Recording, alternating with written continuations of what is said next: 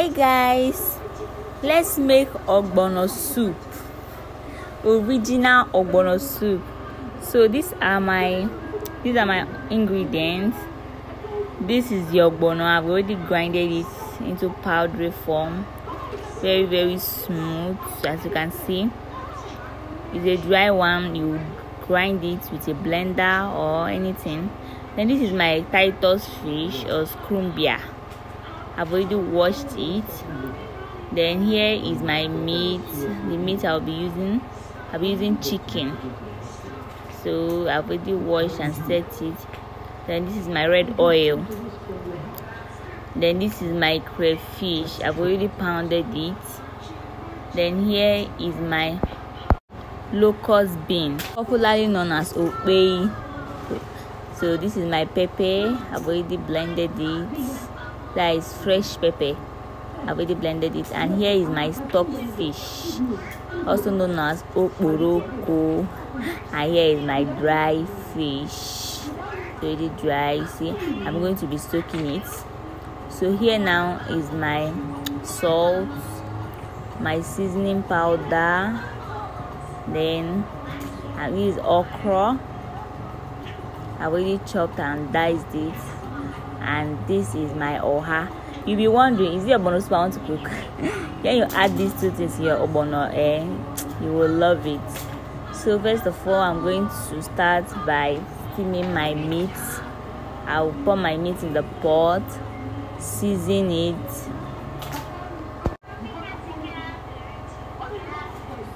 So i'm going to add a little water just a very little water then add my stock fish which is the okporoko then add my seasoning powder. Then i'll add salt to taste. Then i'm going to stir together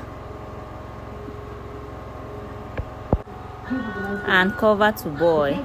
So here it has boiled it has steamed very well i'm going to add more water. That is what i'll be using to cook the main food. That is the main soup.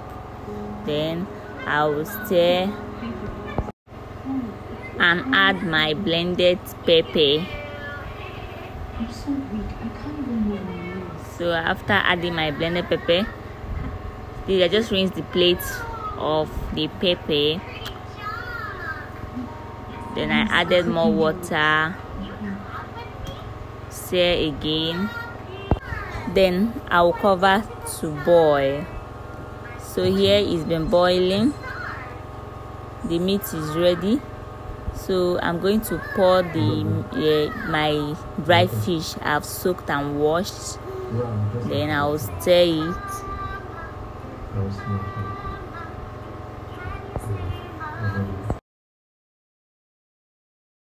so i'm going to add my titus fish.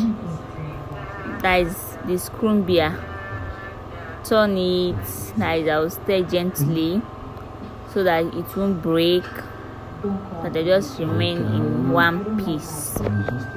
Then after stirring it i cover to boil and now it's ready.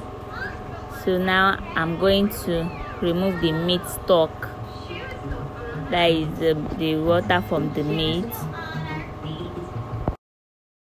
Then i placed my pot on fire. The, the pot i'll be using for the soup. Pour in my red oil. Then i just allowed it to melt. Then i'm going to put my locust bean which is okpei side to pieces. The oil will help break it since i didn't use water to blend. So i'm going to break it in the oil. And after breaking in the oil i will add my ogbono powder. Then i'll stir it. Don't allow it to fry. Don't allow it to fry at all. I'm just breaking it. Later i finish breaking it i'm going to be adding my meat stock or hot water. Don't add cold water. It's not advisable. I'm going to add my meat stock. My meat stock is a is hot water so here i'm i finished breaking it. You can see it's now smooth. The lumps are finished breaking.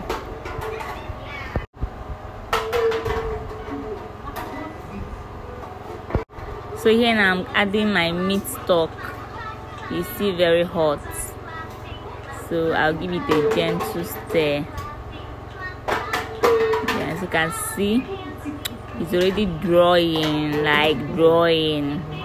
No ogbono is known for its drawing nature.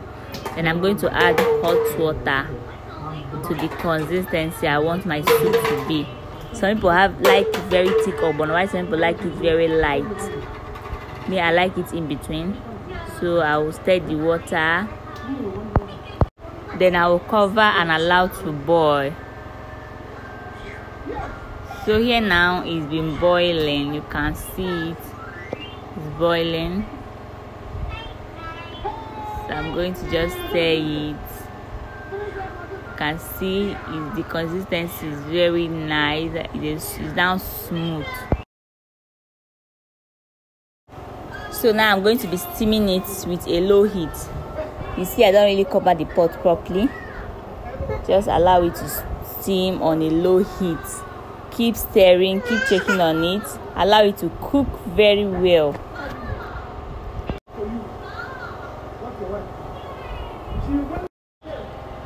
so now i'm adding my meat my fish the proteins i'm using for the for the soup.